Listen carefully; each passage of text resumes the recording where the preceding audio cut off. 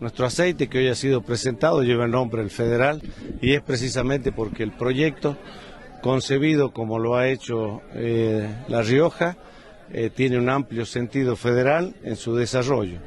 Hemos trabajado desde el inicio para poder primero certificar la genética, luego hacer las plantaciones respectivas, hacer las cosechas, hacer las investigaciones necesarias y tener ahora ya a disposición que puede significar una mejora notable en su calidad de vida. Así que para nosotros es un orgullo haber trabajado desde el inicio mismo de esta, de esta propuesta, de este proyecto, y haber vencido todas las barreras que nos tocó vencer para poder llegar a esta instancia. Por ejemplo, las entidades financieras eh, para hacer las transferencias, para traer las semillas y hacer las certificaciones agronómicas respectivas y la genética, eh, había que eh, poder cambiar el estatuto bancario para poder permitir que se transfieran fotos para temas relacionados con el cannabis. Y de igual manera, una vez que llegaron, había que también eh, cambiar la legislación porque estaba prohibido el tránsito de sustancias que tengan que ver con el desarrollo del cannabis.